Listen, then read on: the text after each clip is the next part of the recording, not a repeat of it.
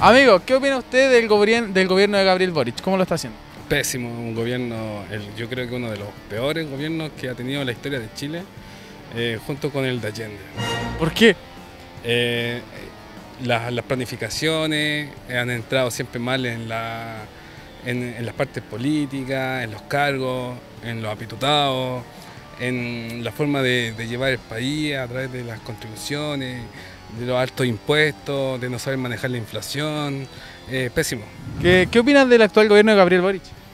Eh, por el momento vamos ahí nomás, más o menos, ni bien ni mal, pues.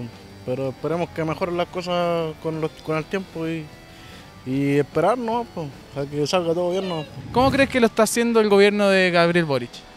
Soy peruano, así que no sabría decirte. Pero ¿cómo has visto opiniones? Quizás has escuchado opiniones en la calle, ¿no? O En la, en la tele. O sea, no tan bien, la verdad. Al ser tan extremista por un lado es como...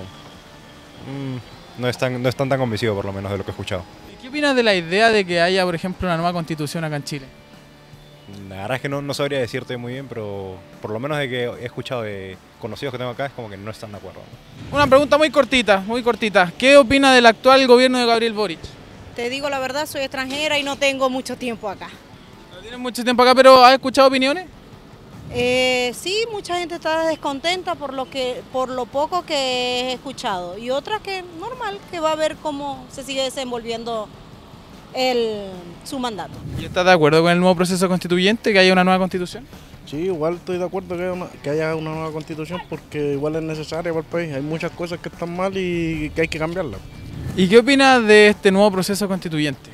Eh, me parece mal, eh, es un arreglo que están haciendo entre cuatro paredes, eh, no, hay, no, no creo que haya futuro, Eh, la gente necesita trabajo, necesita que los empresarios lleguen a invertir al país, no necesita una nueva constitución porque eh, Chile demostró que en 30 años eh, creció más que en toda su historia.